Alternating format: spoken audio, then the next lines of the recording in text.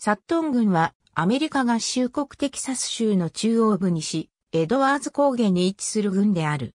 2010年国勢調査での人口は4128人であり、2000年の4077人から1.3%増加した。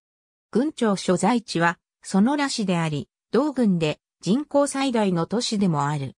サットン郡は1887年に設立され、郡名は南郡の士官だったジョン・イエス・サットンにちなんで名付けられた。西テキサスでもスピード違反の取り締まりが厳しい郡であり、年平均で4万8000件以上の検挙があった。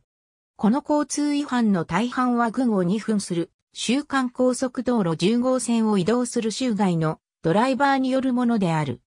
マーカンタイルガーデンサットン軍図書館退役兵、パイオニア、牧場、女性博物館アメリカ合衆国国勢調査局によれば、軍域全面積は1454平方マイルであり、このうち陸地1453平方マイル、水域は1平方マイルで、水域率は0.04%である。以下は2000年の国勢調査による人口統計データである。